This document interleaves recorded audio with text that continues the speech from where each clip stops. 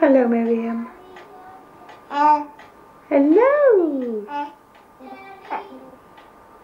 Are you smiling? Oh, what a lovely baby.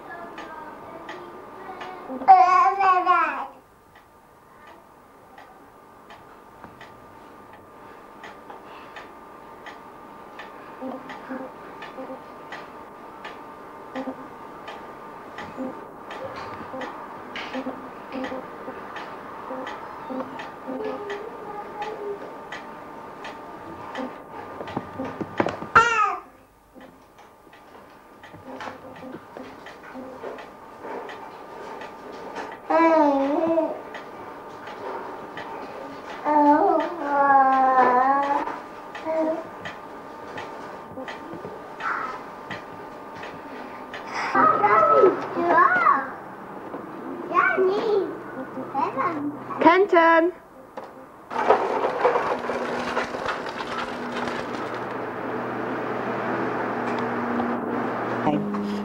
I'm two and a half. And do you go to playgroup? Yes. Did you lovely? I'll be pleased. Where's Daddy?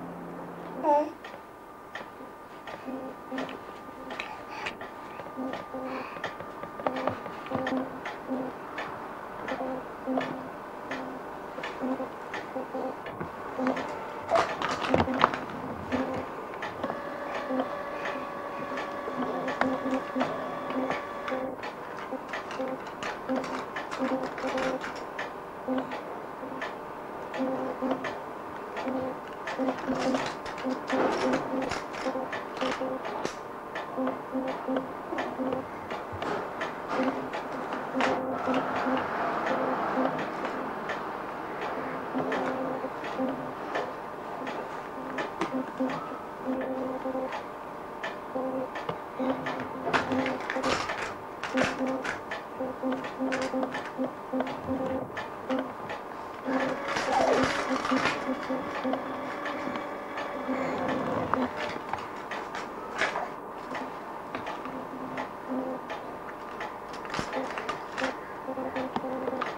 Miriam. Miriam. Miriam. Can you look this way, Miriam? This way. Is that much more interesting? Hello, Miriam. Hi.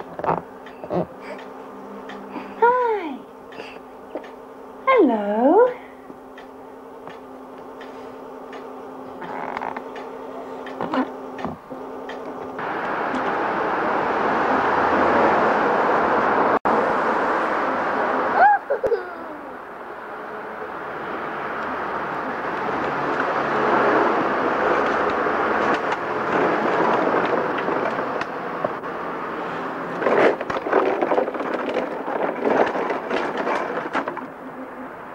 Hello.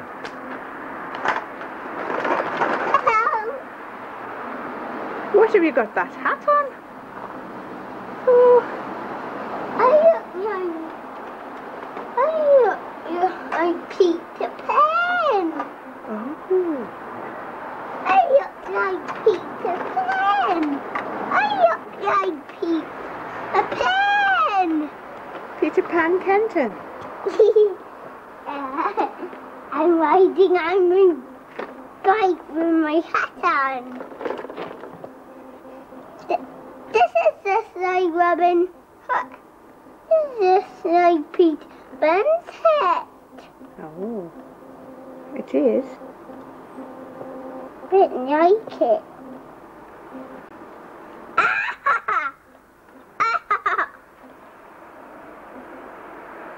Oh, really? Mm. Hey, hey, this is like Robin Hood hat.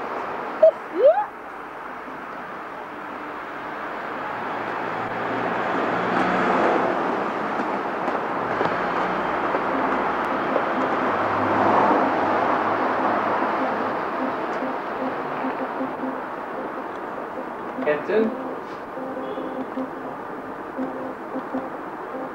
Who's that? Getting any bike?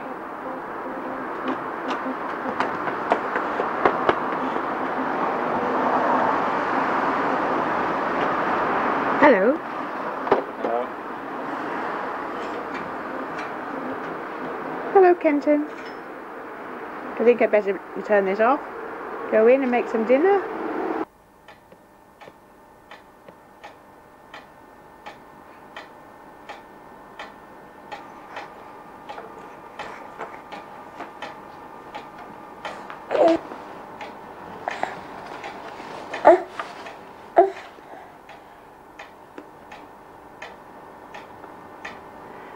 Hello, Miriam.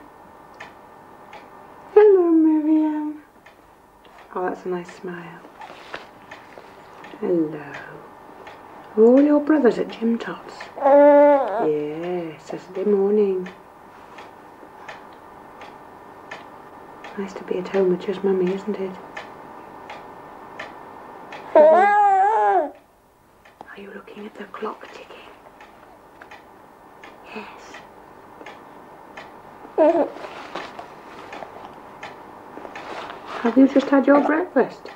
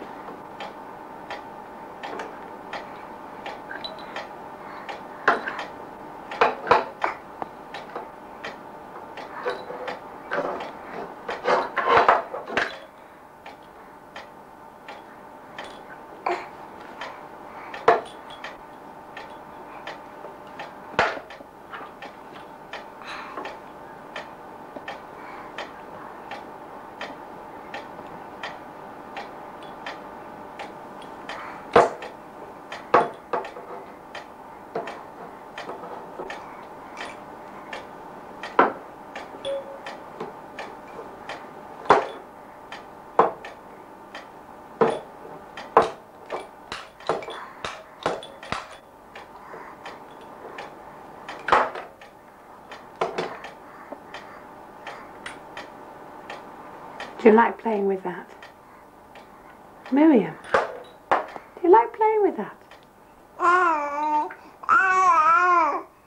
You do. That's a nice toy. Is it a nice toy?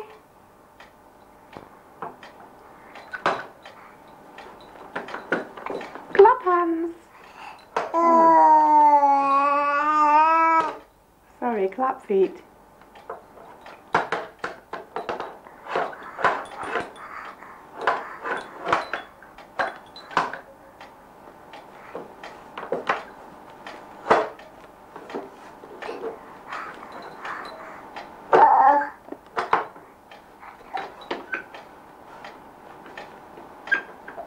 Oh.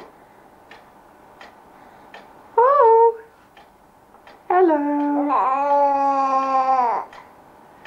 Say that lovely ba ba ba sound said this morning? Ba ba ba ba ba. Uh, Ba ba. uh, Ba ba. uh, Ba ba ba ba ba. You were going.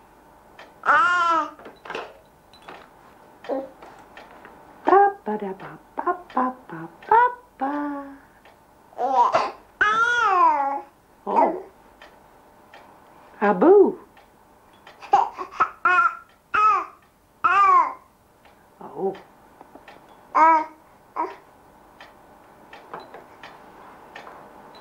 You're wondering why Mummy's got a black nose. Oh dear.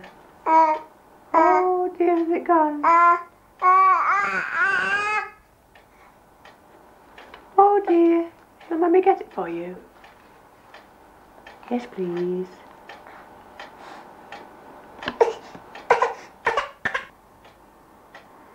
Bye bye, Miriam.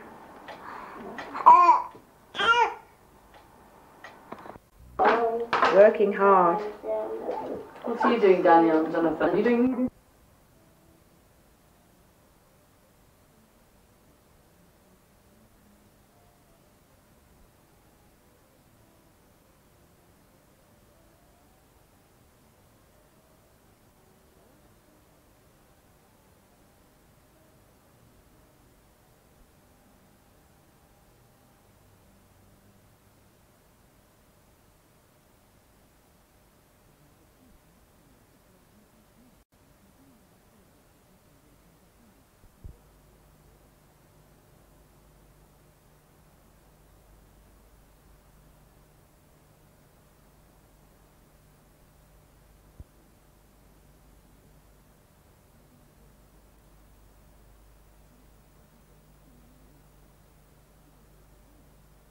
Well, the bank says they've got a court judgment against me.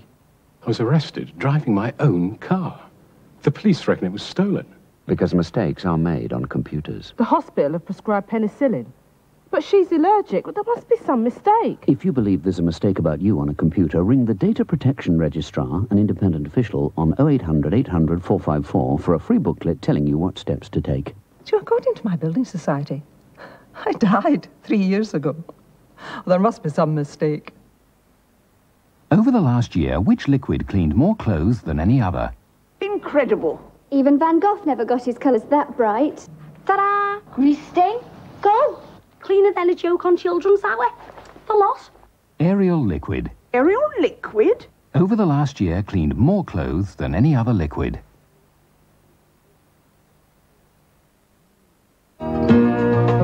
Tonight on 4. At 8 o'clock, Kingdom of the Deep swims with the gentle giants of the sea to learn more of their haunting ocean song. At 9 o'clock, Ellen finds herself swimming out of her depth. Miserable when I'm not with you. What are you saying? Two for tonight on 4. Now, for an in depth look at international news and views, Sheena MacDonald and Michael Nicholson present The World This Week. It's seven o'clock.